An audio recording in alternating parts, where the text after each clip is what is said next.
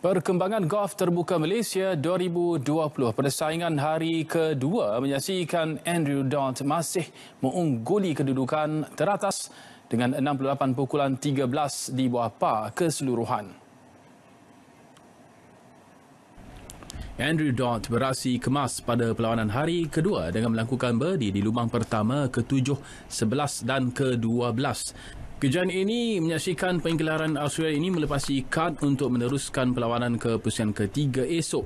Yeah, I don't think I played cautious, so I, I, I didn't hit it as close as I did yesterday, so I didn't have as many chances to hold the putts as I did yesterday, but um, the times when I did hit it close, I hold the putts.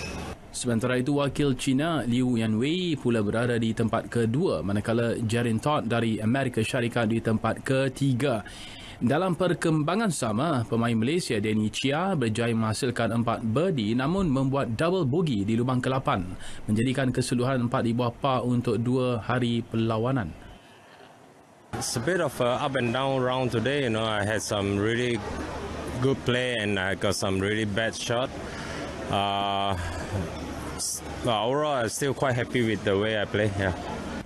Antara pemain Malaysia yang cemerlang melepasi kad ialah Amir Nazrin dan Nicholas Fung yang akan beraksi di pusingan ketiga esok.